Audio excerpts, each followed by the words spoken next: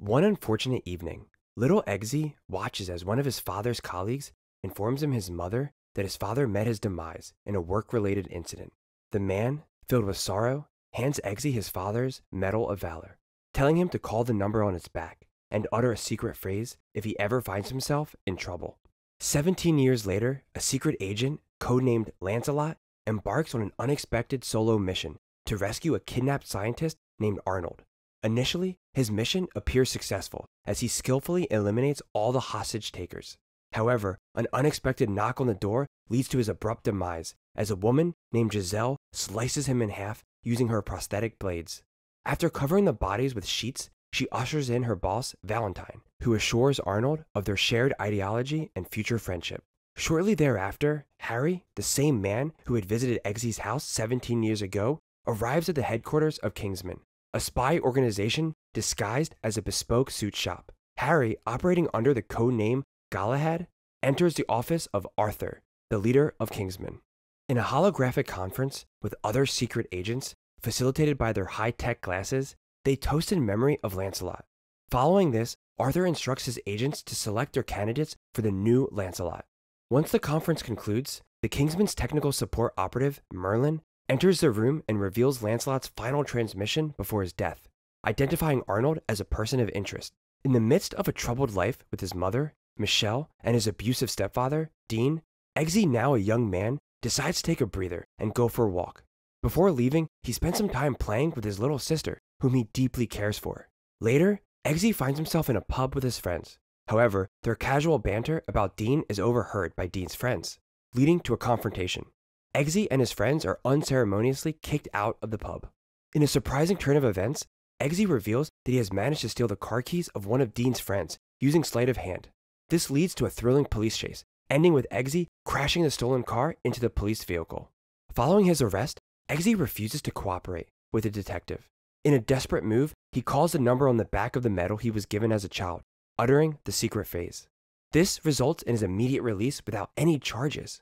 Outside the police station, he is approached by Harry, who reveals that he was the one who gave Eggsy the medal after his father's death. Harry and Eggsy share a drink together, during which Harry expresses his disappointment in Eggsy's life choices, including dropping out of school and not completing his marine training. Eggsy retorts by explaining the struggles of growing up in poverty. Their conversation is interrupted by the same group that had earlier kicked Eggsy out of the pub. When they start disrespecting Harry, he locks the pub's door and engages them in a fight.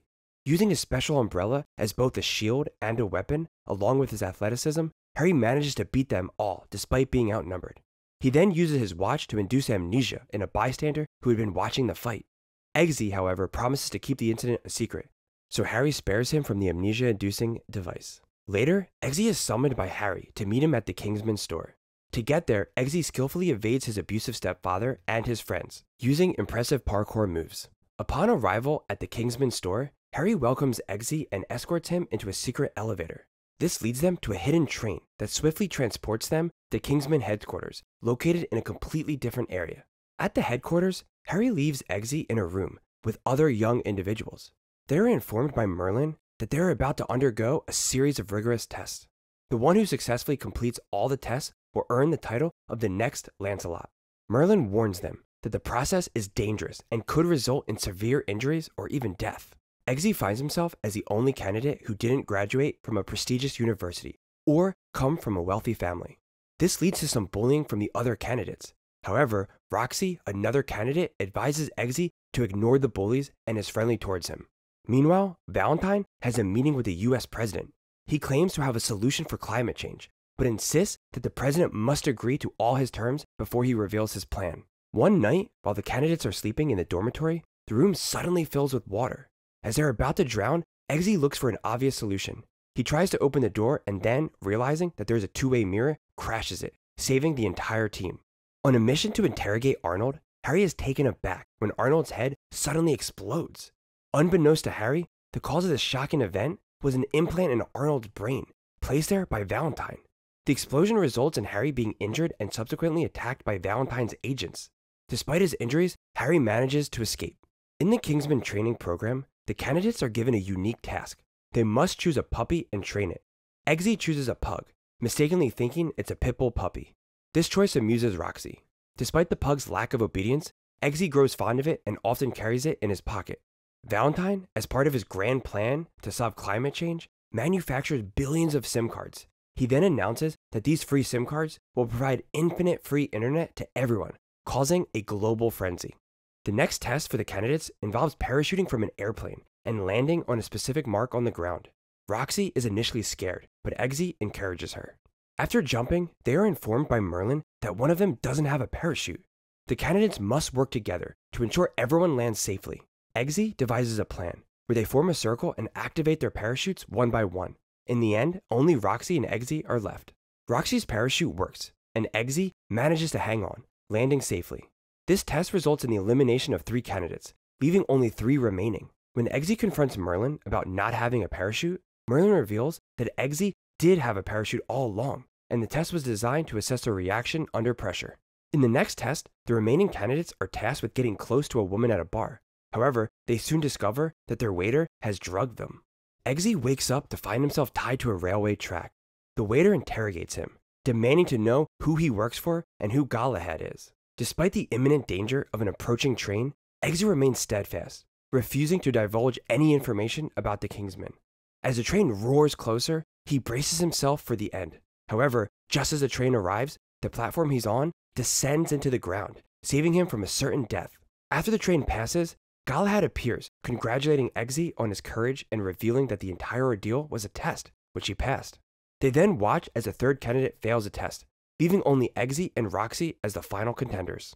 A few days later, Eggsy is presented with the final test by Arthur. He is handed a gun and ordered to shoot his dog. As Eggsy aims his gun at the pug, he finds himself unable to pull the trigger as he realizes that it's just an innocent animal. In the next room, a gunshot rings out, indicating that Roxy has passed the test. This results in Roxy becoming the new Lancelot and Eggsy being sent home with his dog.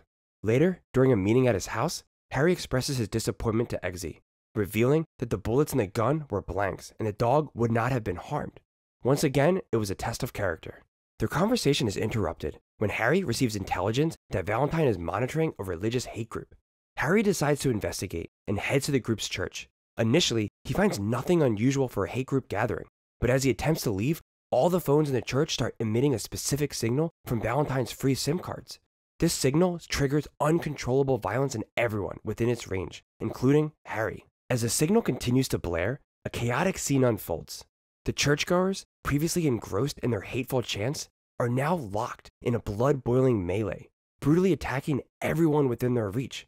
This leads the church to transforming into a battleground, with every person for themselves. Harry, in particular, goes on a rampage, using his secret agent skills and gadgets to eliminate everyone in the church. After the signal stops, Harry regains his senses and steps out of the church, only to be confronted by Valentine. Valentine explains his plan to trigger his SIM cards to emit a neurological wave that will cause everyone to kill those around them, thereby reducing the human population. After revealing his plan, Valentine shoots Harry in the head, killing him instantly. In the wake of Harry's tragic demise, Arthur invites Eggsy to share a toast in his honor. As they raise their glasses, Arthur assures Eggsy that Valentine's confession has been recorded and his arrest is imminent. However, just as Eggsy is about to take a sip, he spots a scar behind Arthur's ear, a telltale sign of Valentine's implant. Quick witted as ever, Eggsy distracts Arthur by asking about the portrait of the founding members displayed on the wall. Seizing the moment when Arthur's attention is diverted, Eggsy swaps their brandy glasses, suspecting Arthur might have poisoned his drink. His suspicion proves correct when Arthur succumbs to his own poison. Eggsy then takes the implant to Merlin, revealing Arthur's betrayal. Upon examination, Merlin discovers that the implant is designed to block the neurological waves. However, unbeknownst to those implanted, Valentine can trigger them to explode their heads at will. Armed with this knowledge, Merlin devises a plan to destroy one of Valentine's satellites. Roxy is tasked with launching missiles from a high altitude balloon. While Eggsy and Merlin infiltrate the safe zone, a sanctuary Valentine has set up for his allies to avoid the chaos that will be caused by the neurological waves. To execute this plan, Eggsy dons a Kingsman's attire and assumes Arthur's identity. As Roxy ascends and prepares to launch the missiles, Eggsy silently incapacitates a man in the safe zone and commandeers his laptop, granting Merlin access to Valentine's database. Just as Roxy is about to fire the missile, a balloon bursts. Despite the setback, she manages to launch the missile, temporarily thwarting Valentine's plan. Following Merlin's instructions, Eggsy overcomes the guards. With the missile en route and less than a minute on the clock, it seems all is lost. However, in the final moment, the missile strikes the satellite, causing a massive explosion. As Merlin attempts to hack into the database, the biometric security system prevents him. With his cover blown, Eggsy races back to the plane he arrived on, with Merlin providing cover fire against the pursuing guards. Merlin informs Eggsy that he must return and physically stop Valentine. Meanwhile, Valentine is dealing with the destruction of the satellite. Unfazed, he contacts an associate to use our company's satellite, which would allow him to activate his nefarious waves within a few minutes. As Eggsy makes his way back in, a horde of guards begins to chase him. Eggsy uses his high tech umbrella and a lighter bomb to fend off his pursuers. Eggsy comes up with a brilliant idea that Merlin should hack into Valentine's implants and trigger them to explode. Merlin hacks into the system and activates the implants just as the guards are about to corner Eggsy. This results in a spectacular display as their heads start exploding in a colorful show, effectively eliminating all the privileged individuals in the safe zone. Unfortunately, Valentine and Giselle didn't have the implants themselves and simply witnessed the demise of all their allies. Valentine then sends a signal to activate the neurological waves once again, causing everyone in the world to start fighting each other, resulting in chaos everywhere. Giselle, agile and deadly, engages Eggsy in a fierce battle. As they fight, Eggsy remembers that his shoes have venomous blades that Harry had taught him about. Eggsy uses the blade to unexpectedly slice Giselle's forearm, delivering a fatal dose of poison into her bloodstream. With Giselle out of the picture, Eggsy takes one of her blades and throws it at Valentine, finally putting an end to his evil plan. With the world saved, Eggsy, now the new Galahad, returns home to save his mother from his abusive stepfather. When Dean disrespects Eggsy, he locks the pub's door and engages him in a fight, just as Harry would have done.